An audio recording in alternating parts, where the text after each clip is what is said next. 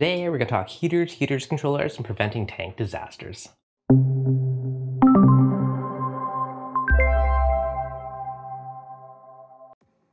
What's going up guys, Devin from Reef Dudes. Now today I wanted to dig a little bit into heaters and heaters controllers, a little bit of safety around that. Now a heater dying or getting stuck on is one of the main things that can crash a tank, and this happens quite a bit. Um, enough that is the most common cause.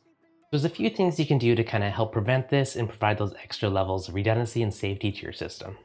Number one, uh, I always like to tell people to use two heaters rather than one. Um, now you don't want to use two massive ones. If your tank needs say a 300 watt heater, uh, what you do is you get two 150 watt heaters instead. That way, if one of them happens to get stuck on, it doesn't have enough power to cook your tank. Now, if one of them fails, you still have the other heater that can kind of limp your tank along and it's not going to get too cold. So that right there already provides like your first level of redundancy. Um, now the next step up from that would be using some kind of a controller on your tank to take it up to another level and do work as like kind of a backup to your heater. So if something happened, your heaters got stuck on, um, that controller would be able to physically cut power to those heaters and turn them off so your tank didn't get cooked. Now on the flip side of that, if you know your heaters were to die, you know, some of them can send you alerts and whatnot. So ideally you'd have something, you know, like an Apex, an eKoral, GHL, some kind of controller that will send you alerts and do all this stuff. But I know not everyone wants to spend $500 on a tank controller, and that's completely understandable. Uh, one of the most common things I get is people don't want to spend, you know, how do I do this without spending a fortune? So we're going to talk a little bit about that today. And one of the new kind of products I picked up that I feel like it'd be a good one to touch base on today is the Inkbird controllers. Um, so taking a look at this one, this is one of the newest models and this one is the ITC 306T-A.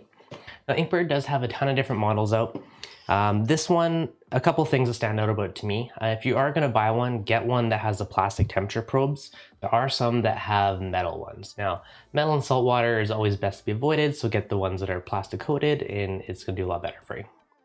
Uh, this one also has two heater outputs, so we can plug in our dual heaters, right? So that's step one, and step two will be having a controller on top of them. Now, if you live somewhere in kind of a hotter climate, there also is models that have a heating and a cooling plug, so you can say have it turn on a fan, and then you could just use like a splitter or another little power bar after that to plug in dual heaters. So there's still ways around that. Um, now this one is one of their newest models, and a couple one cool thing is it does have dual heater probes, so it's another level of redundancy. If you haven't noticed yet, all about the redundancy, right? Backup your backups.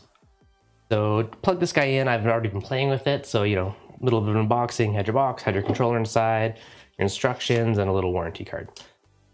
Now, another really cool thing about this guy is it's one of the first models that have an app integration. So you can add it to an app and control it remotely. You can get alerts if something's out of whack with it. Now, just how to set this up if you don't have the app uh, come in and you can use Celsius or Fahrenheit, so you can take your pick. Hold down the set button for two or three seconds.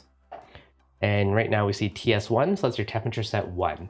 So that's your low value. So if I want a low of 25 degrees, now I will hit set again. Now we got TS2, so that's your high level.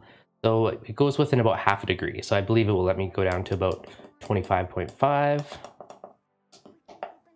Uh, alarm high, so if you go above a certain temperature, it can set an alarm.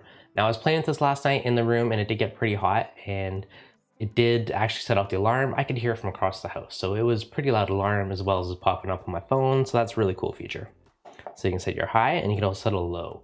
So if your temperature goes too low, that could be alert you like say a heater dies, you know, to go look at it, right? So it's really cool that has these alerts built in.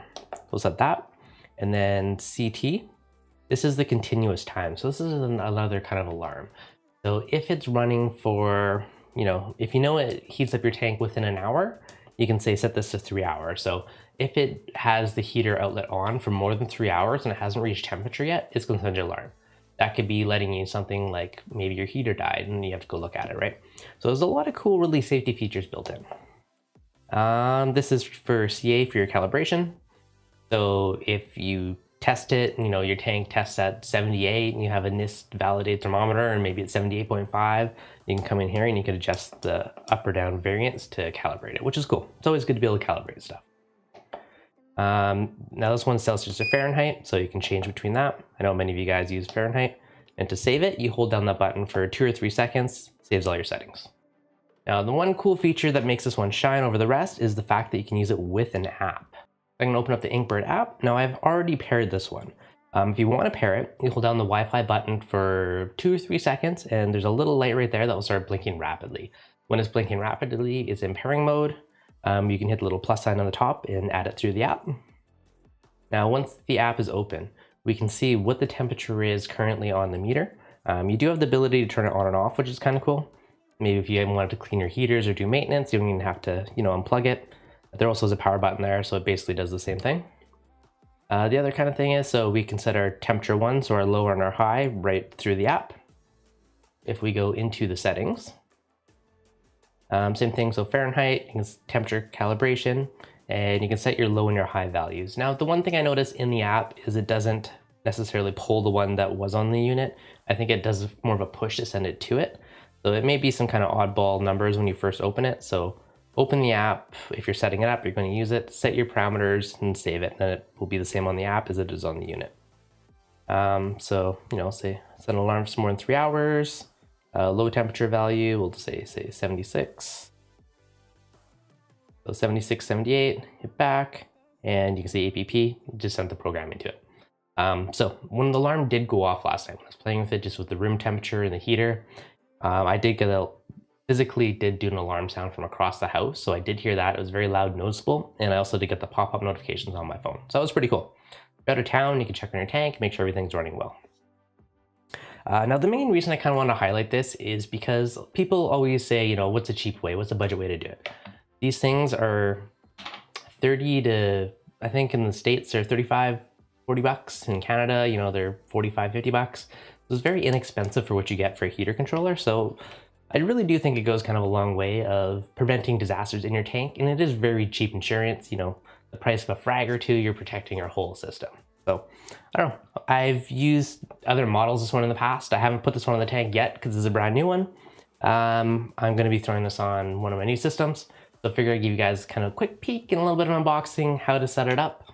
And yeah, it's going to go a long ways, especially for those frag tanks, you know, or if you have a temporary quarantine system, anything, you should always be using a heater controller one of the biggest things you can do to help save your tank. So guys, if you're not gonna buy a controller, that is fine, but I do still recommend a heater controller. At the very least, use those two half-size heaters because that's gonna go a long way for preventing a disaster in your tank and keep you one of those long-term successful reefers. Alright guys, now as always, if you enjoyed this, hit that like button. If you're new, make sure you subscribe, and I'll catch you guys on the next video.